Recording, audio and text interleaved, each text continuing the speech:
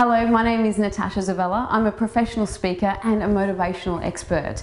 My background is uh, TV presenting and I've also written a book called The Crocodile Mindset, which is about conquering fear and living your dreams. I've worked with 500 kilo crocodiles and handled some of the world's most venomous snakes, so I know a lot about conquering fear. I'm really passionate about helping people conquer their fears, whether it be in their business, uh, their personal life, or even in the workplace. And some of the topics that I speak on are success strategies, uh, tools for conquering fear, creating motivation around fear, and also creating your ideal life, getting really clear on what it is you want. Not only that, relationships. How do you find the one you want? All that and more is in all my topics and speaking engagements. So if you'd like a professional speaker to talk at your event or next organisation, please give me a call.